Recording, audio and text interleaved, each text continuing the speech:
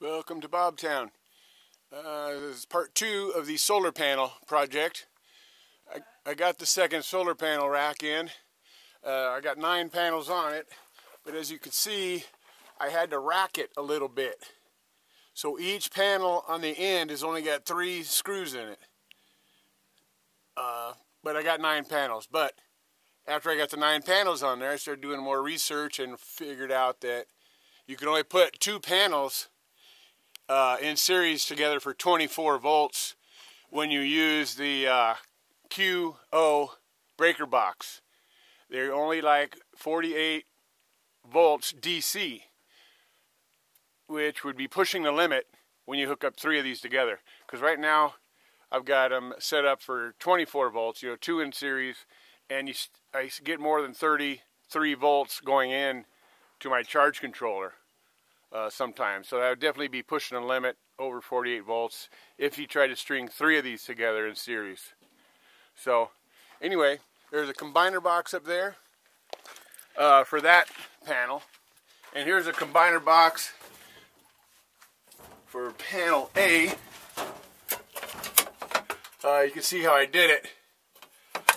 The uh, negatives from four of the panels go here and those positives go to the middle, and then uh, the negatives from the other four go to the middle, and the positives go off here to the right. So there's the positive lead coming off, and here's the negative lead coming off. So that's, this is 12 volts here, 12 volts here, but all together is 24 volts. And then it comes out, uh, these two wires, a positive and negative, and that goes to the charge controller. Here is the charge controller. Got it hooked up. And I don't know if you can see it. You got 29.4 coming in at 7 amps. The sun is just barely coming over the uh, the panels right now. So we're not getting full uh, full power. But it's pumping in 12.5 at 1.8 which is at the bottom, what does it say, a couple 20 watts or something like that. Alright, anyway. So the wires come in to the uh, to the breaker box. This is a four or a two uh, breaker panel or two breaker box. I got the split breakers, so I've got four circuits. Uh, I've got panel A going in one, panel B, and I'm just putting together panel C. Um, and then the fourth one I'm going to reserve for the generator. I'm going to hook up the generator to that somehow. So uh, you got two panels coming in together right now, going to this positive here, and then a negative bus bar here, coming out, and then into the charge controller. From there it goes out to the battery bank. I've got five uh, deep cycle batteries. Seems to be working all right. I would like to get a, a couple of more. I have two more battery cores. Probably next uh, month I'll get two more batteries.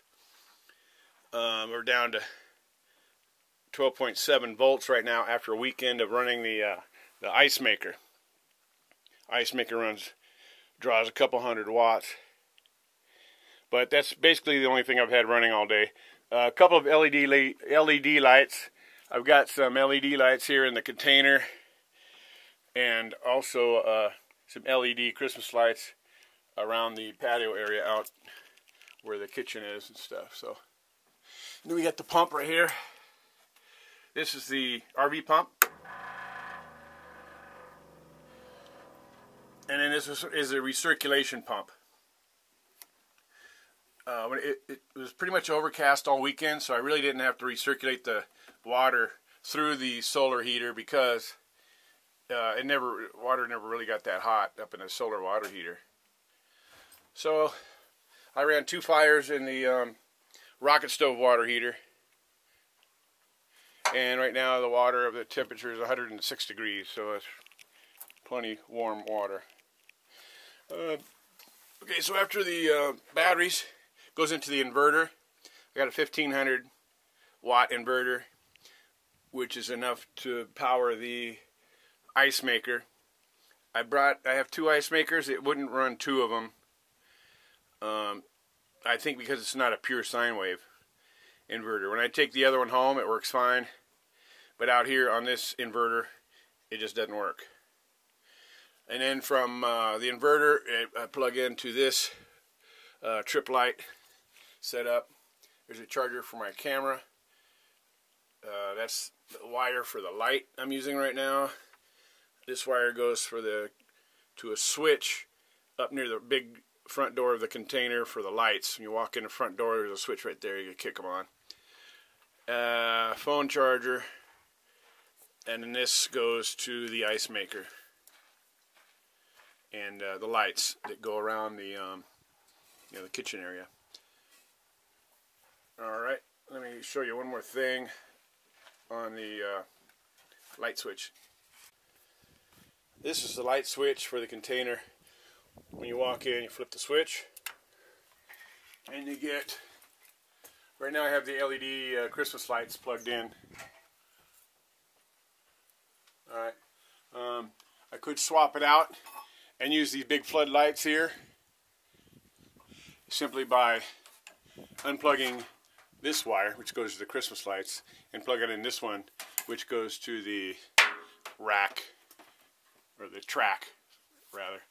Um, got the TV out here, also with um, the uh, satellite box. I haven't been able to get that to work, though. If someone knows anything about that, feel free to let me know what I'm doing wrong. Anyway, as Bob from Bobtown, part two, the solar uh, panel project. Thank you.